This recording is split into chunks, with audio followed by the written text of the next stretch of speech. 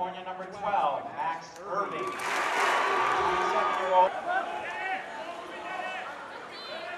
Correction, I was loaded on. Chase Dodd now working into two meters. Okay, Jeff gets the first pass.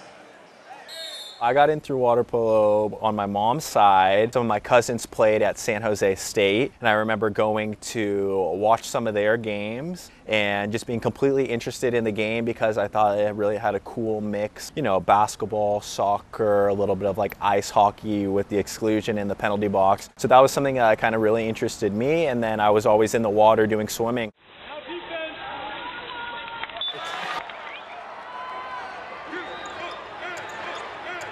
I remember it's pretty funny growing up, me and my brothers and sisters would always go to games at like Pauley Pavilion or the Galen Center or Long Beach State, and we just loved just to go and be in that environment and um, experience college athletics was something that was really cool for us. And my dad, first and foremost, he's just led with example his entire life with everything that he's done. Just recently, I got to see him. I actually was sitting courtside for the UCLA Washington game. So just to be able to see him and his professionalism and just how focused he is when he is officiating a game is something that's really inspiring to me because I know if my dad's been able to do it for as long as he's been able to do it, then I can definitely at least try my best, continue that legacy in the water, obviously in a different capacity, but I think it definitely helps me.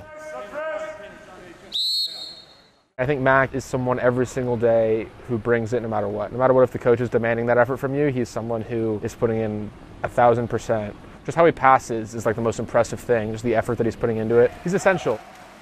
When you look at the team, we're definitely a more experienced team this time around.